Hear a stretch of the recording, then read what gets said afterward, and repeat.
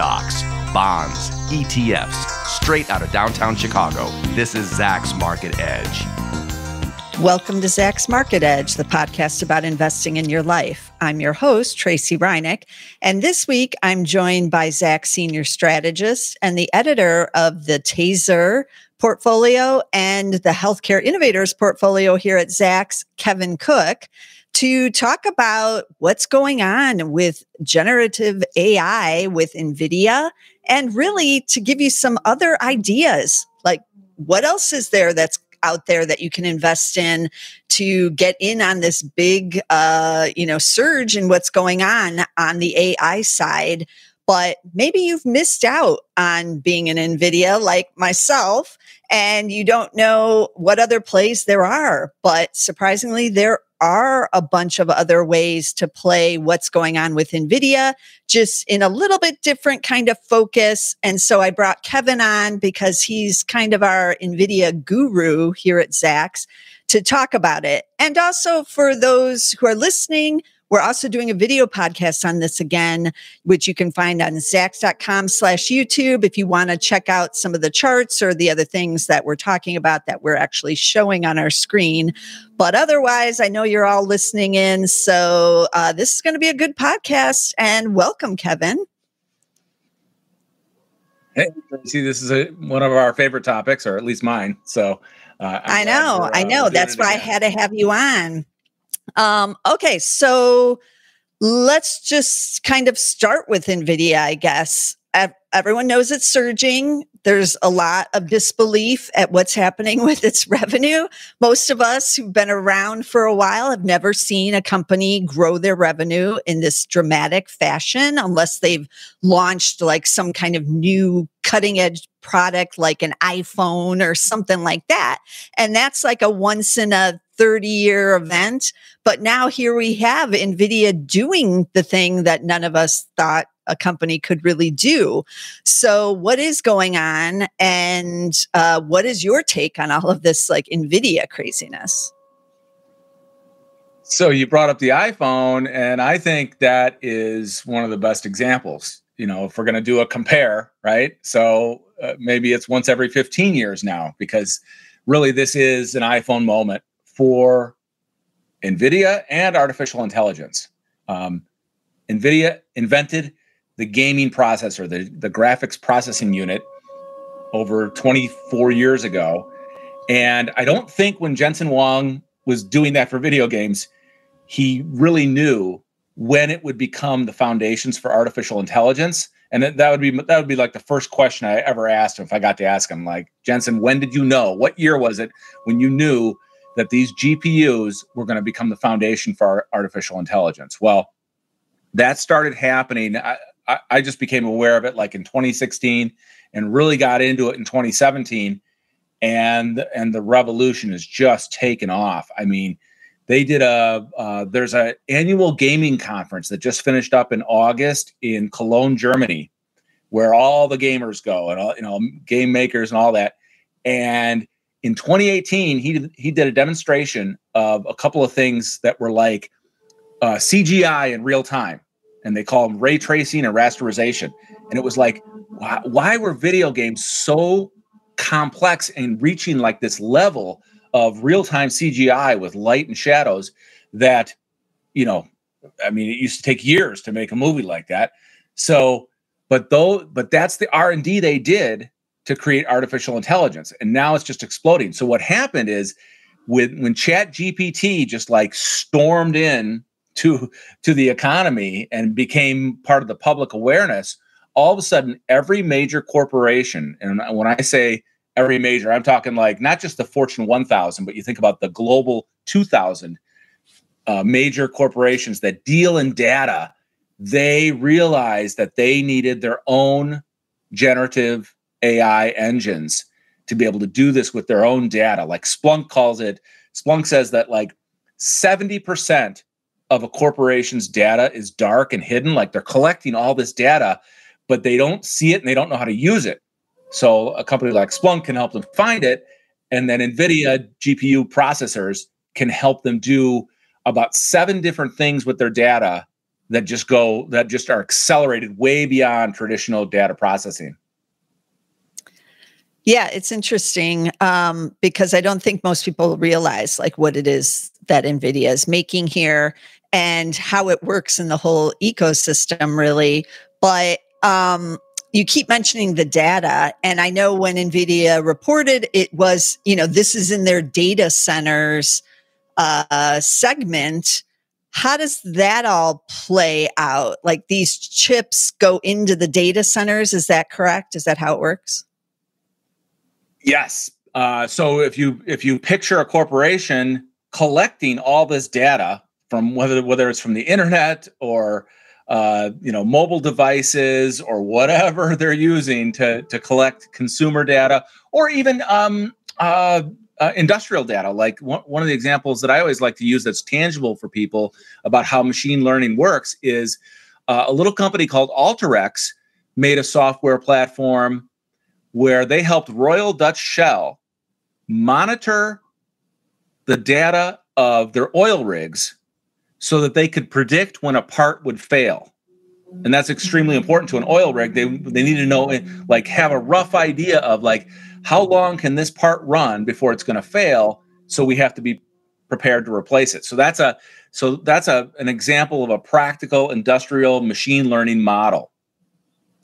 And um, you know what so so nvidia uh the the gpus go into data centers and here's the simple example like uh think about your your laptop or your pc it's run on been run on intel forever right? And that's a central processing unit. And they used to be slow you know it was like a two lane highway it's called serial you know serial uh, data transfer. Um and maybe now it's a four-way highway. You can buy some pretty fancy Intel Pentium chips that, you know, but those are still CPUs, central processing units. So picture it like a four-lane highway. Well, GPUs are like a thousand piano players all processing at once. That so you've got your serial data moving this way at rush hour. What do you got? You got a traffic jam. But with GPUs, you're processing all this in parallel, not serial, in parallel, and it can just go a thousand times faster. So that's why uh, uh, Jensen Huang has always talked about this as being accelerated computing. Um, when and and NVIDIA just keeps getting better at it. So in May, when they announced the a new chip version called the Grace Hopper uh, that goes in their DGX. A DGX is like a a box the size of a small refrigerator that holds eight of these GPU cards. And when they announced the new Grace Hopper chip, it was it was an order of magnitude faster than the previous generation. So, and right away, and, and Jensen Huang said in May at, a, at a, an event called Computex, he said, um, already Google, Microsoft, and Meta are customers. And once the world heard that, uh, Nvidia stock took off because then they realized the rest of the Fortune 1000 is going to want to create these themselves. So they need the data processing power. They need to buy se- several hundred of these DGX boxes, each with a Grace Hopper um, GPU card. So these things can cost anywhere from $150,000 to $300,000 each for one of these boxes. And corporations want to stack them together to have this what's called massively parallel architecture. So that's where the data centers come in because they need to house all this, right?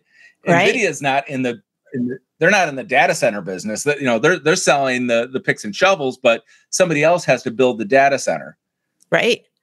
Yeah, let's talk about the various infrastructure now because, you know, if you missed out on NVIDIA and you don't want to dive in here after the big move and everything, there are other ways to play what's happening with NVIDIA uh, through these other companies because again as you just said nvidia is not building the data center someone else is and uh, other people are even you know uh, servicing it cooling it like all these other things have to be done.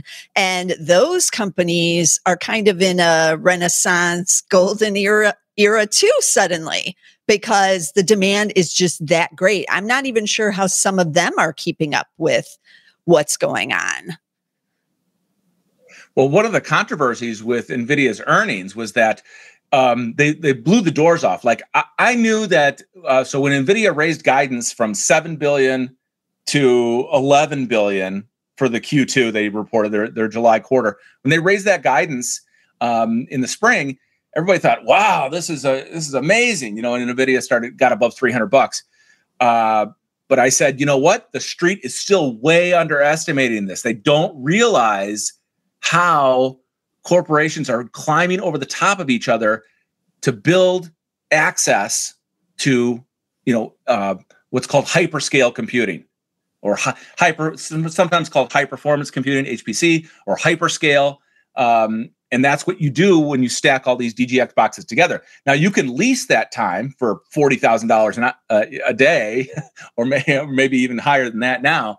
But uh, corporations would prefer to have their own because they want to build their own internal Chat GPT, so to speak.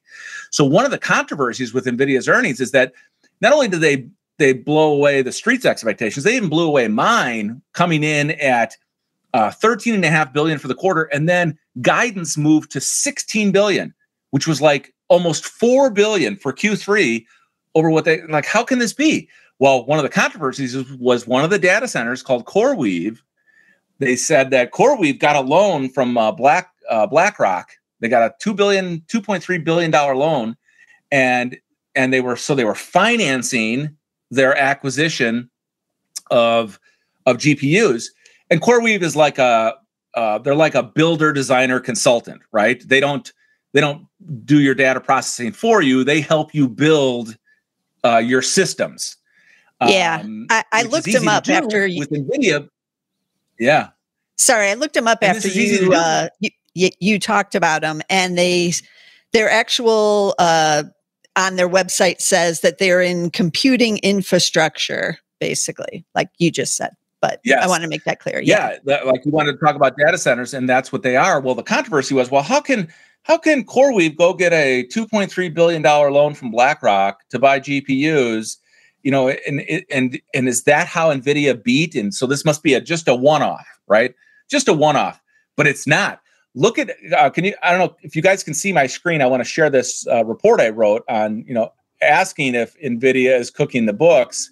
Um, so uh, this top quote we had spent 100 million on h100s an h100 is the the grace hopper the newest advanced uh, gpu card uh, venturo said and he's an executive with uh, with coreweave but the chat gpt moment was when i when i was like everything we've thought from a scale perspective may be totally wrong these people don't need 5000 gpus they need 5 million and this was a quote yeah. in the Wall Street Journal on that morning where they interviewed uh, uh, one of the founders of CoreWeave um, on August 25th. So this is just an example of of you know the demand where even the data center guys are realizing and so this is real demand because and this is going to extend into 2024 for sure because um, here's how jensen huang sums it up to put some simple numbers on it he says there's a trillion dollars worth of assets and data centers out there, but they're all run, or most of them are run on CPUs, and they all need to migrate to GPUs. Yeah. So to him, that's a tr- that's almost a trillion dollar opportunity over the next four years because uh, they'll spend 250 billion dollars a year to do it. Now, Nvidia is not the only provider, but you can see how Nvidia is saying they're going to do 16 billion next quarter. That's probably sustainable for uh, maybe uh, four to eight quarters. Yeah. Um, I saw that CoreWeave uses only NVIDIA, so they they are their main customer there. Um, and also, you know, CoreWeave has several of these big data centers. They just opened up one in the New York region, and then in July, at the end of July, they announced a 1.6 billion dollar data center going in in Plano, Texas. So that's where a lot of the 2.3, you know, the, whatever they're buying from NVIDIA, is, a lot of it's probably going to go into that facility down there. And this is just one, one of these companies. Like this is just only the beginning. Yeah. So, and, and you've, uh, you found one as a value investor. You found another huge player, an up and comer that like, you know, I'd never heard of called Vertiv. Uh, yeah. So can you tell us about Vertiv? Because you're the expert there. Well, Vertiv is also on the infrastructure side and like uh, data center services. So uh, they also are helping companies kind of in the consulting area, that kind of thing, to get their data centers up and running. And that business has just boomed as well. So, you know, they they are seeing the results of all this that's going on in the rest of the, you know, channel of, of AI basically on the chip side and now um, you know, going down downstream, so to speak, uh, kind of like energy. Um, but just looking at Vertiv, it's ticker VRT. While you're, while you're talking here, I want to show, I want to show a chart. Yeah, I want to show a chart of uh, Vertiv right here. So I'm going to blow this up, and um, like, so when did you get in? Like May or June when it was like around twenty bucks? Yeah, yeah, a number of months ago, and even then it was mm-hmm. at it was it was surging already. And it's hard for any investor you know after you've seen a big move in the stock to to jump in there. I think it had already doubled or something year to date. And but it was cheap. It was trading under 20 times. Its peg was low. The price to sales ratio like all this other stuff was still cheap. They they had already been reporting earlier this year because nvidia was already seeing it about the data centers and the hot business there so we dove in, and then the last earnings report was basically similar to to Nvidia's. They they crushed it out of there. They're expected to grow earnings 200% this year. So, yeah, they're they're seeing the downstream benefit and, you know, I see sales expected to be up 20% uh, year over year here too. And so this is one of those companies that it's more expensive now because it has kept running, as you can see on that chart, but it's still only trading at about 24 times and its other metrics are still lower. Its PEG is still great. And so I still really like Vertiv here because it's like CoreWeave, but CoreWeave is private. So we can't get in and invest in that yet. Uh, but Vertiv, we can. And this is one of those companies that's going to just be one of the beneficiaries of, of this, this transformation into the AI. Yeah. And I think it would help if we, if we uh, talked a little bit about what the goal is of these corporations with, with their data, with all this, you know, I call it a deluge of data. Splunk calls it dark data, where the, they're collecting all this and it's all in all these log files and they don't know how to use it. Like yeah. we hear the terms AI and we hear, you know, generative AI, but what are they actually doing? And so I, I, I like list about six or seven things that people should think about that corporations are doing. First, they can take all that data and model it somehow and see does it tell them anything? Does it give them any new information? And uh, then they maybe can make forecasts, right? They can make forecasts about their business, about an industry. Um, they can also turn things into visualizations, right? Like you know all these fancy graphs that we see from uh, not not just uh, you know Statista, but anything where you can uh, you know can create bubbles, right? Like if you can create uh, you know uh, bubbles to show this the the impact size of a company in an industry or its its valuation there's you know hundreds of visualizations that you can do with your data too that where it speaks to people. Like show me a picture of the data and then i can understand it. Um now but now it's getting more intense because nvidia specializes in something called simulation where uh, a company can take the data with the model and without a forecast they can just run simulations. Like what if we uh, apply these variables. And I'll give you an example. Um, when th- this is about five years ago, BMW adop- adopted NVIDIA technology to simulate the building of a new factory. Because obviously, the auto manufacturers, it's full robotics, but they have to plan this stuff out quite a bit.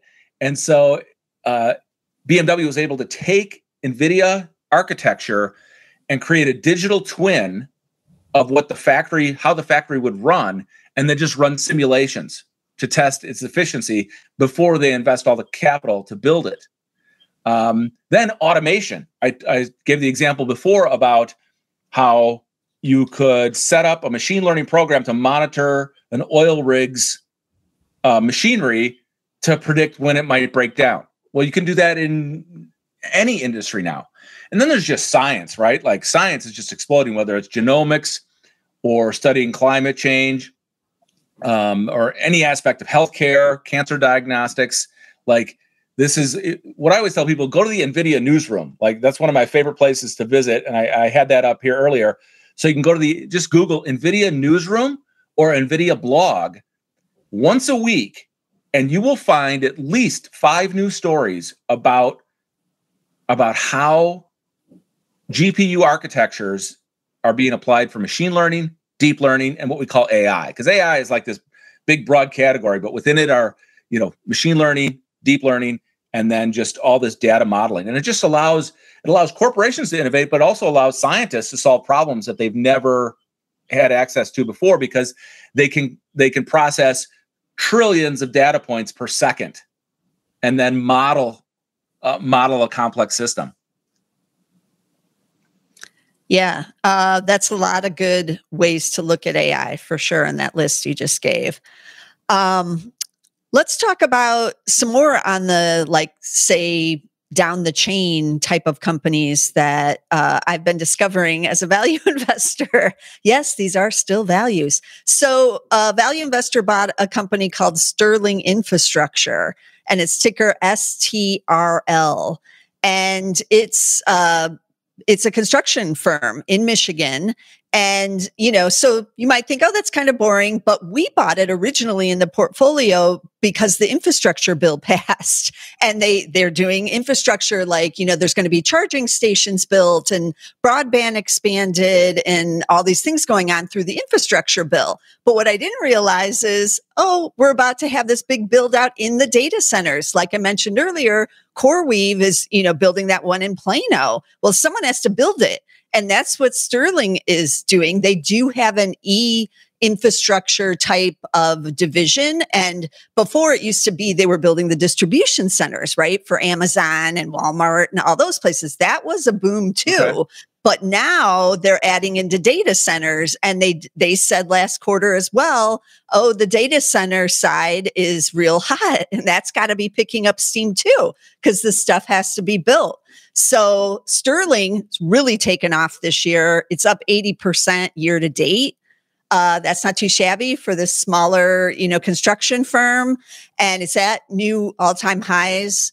And it's still fairly cheap. It has a PE of 20, it has a peg under one still because those earnings are surging. They they beat like several quarters in a row now.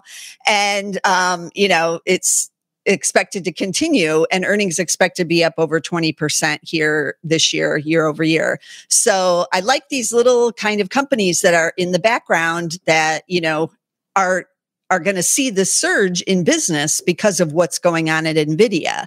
And then another one that i also just discovered uh, through just running value screens is called Modine Manufacturing. And this is up in your home state, Kevin, of Wisconsin and it, it, and you wouldn't think like oh i can find an ai play in wisconsin right now but you can because modine one of the things they do is cooling like hvac and a lot of it is commercial okay. and so what do these huge data centers do? If you're building that one in plano and it's 110 out there and you've got all these uh, you know, chips in there, you certainly don't want a meltdown or whatever going on in there. So a lot of cooling. Right. And they too said they're seeing a, a surge in business from the data center side of their business that is, you know, really giving them a boost.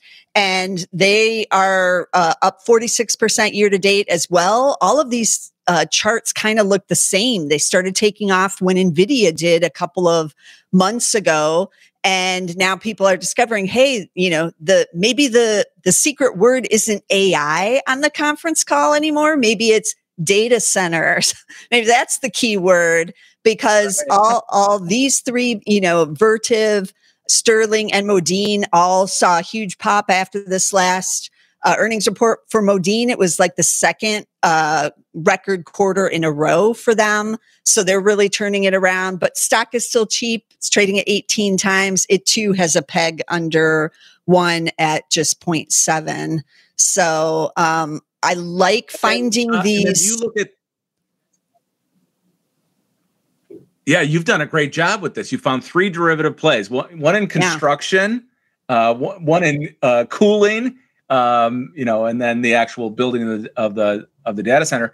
Um, do you look at price to sales too? Because it's like you know that seems to be where you you see that acceleration. Like all of a sudden, the company is growing its sales much faster than uh, you know than its valuation than its than its um, market cap. I do. Uh, that's definitely in the screen, and all three of these have very good price to sales ratios too. Um, maybe not quite as cheap on some of them as I would necessarily, you know, screen for, but let me look now.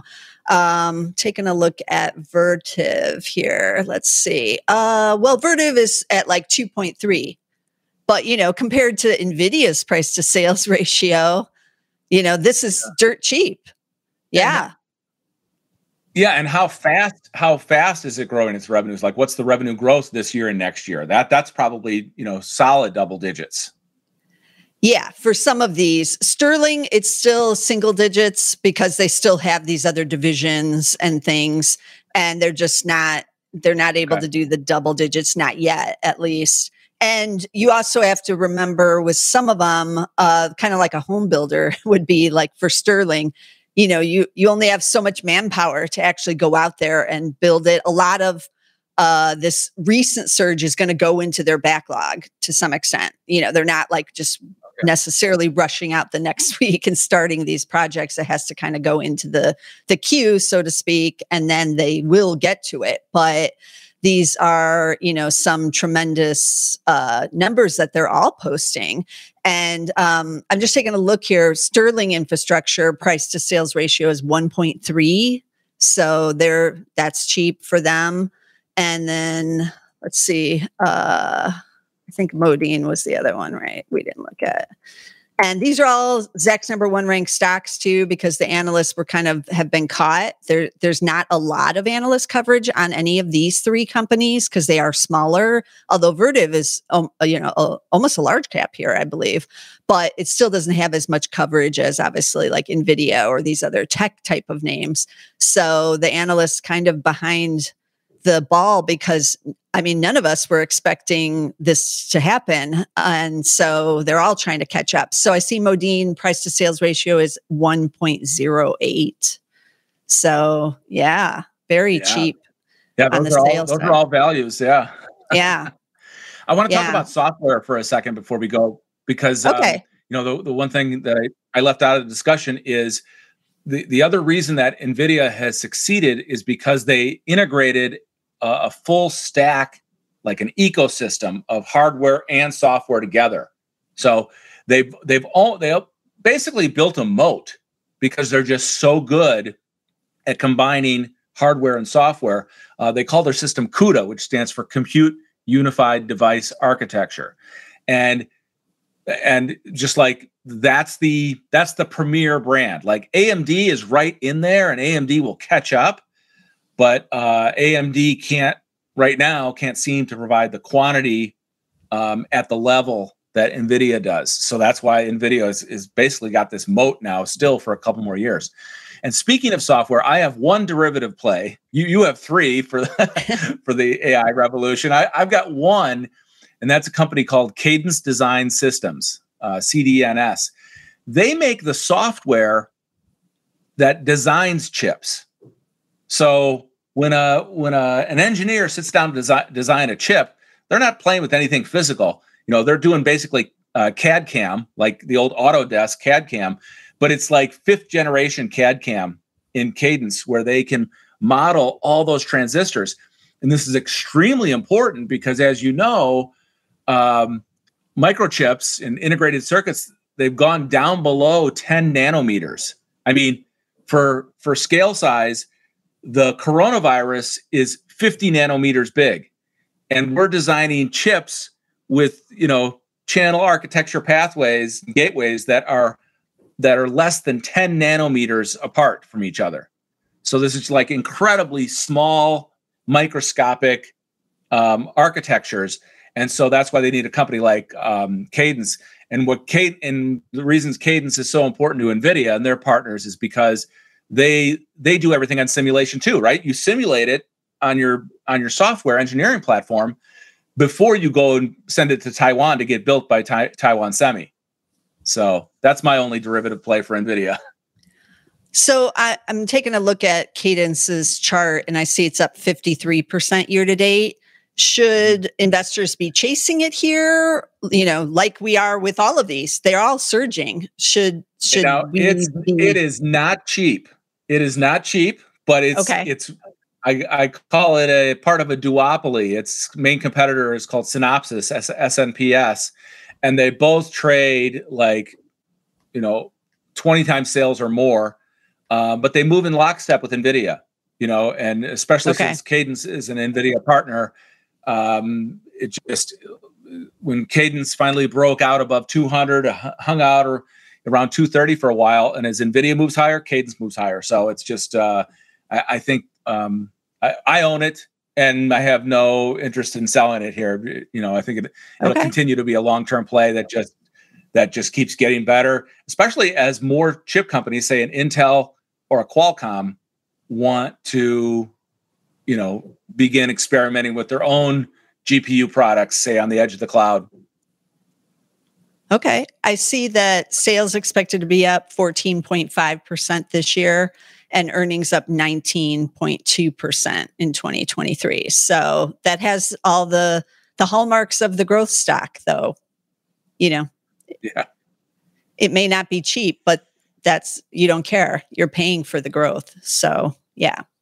Okay, I'm going to keep an eye on uh, Cadence because I've not been following that one. But this is a good discussion because it gives investors on both ends. If you are a growth investor, you have some growth options. If you're a value investor, you have some value options.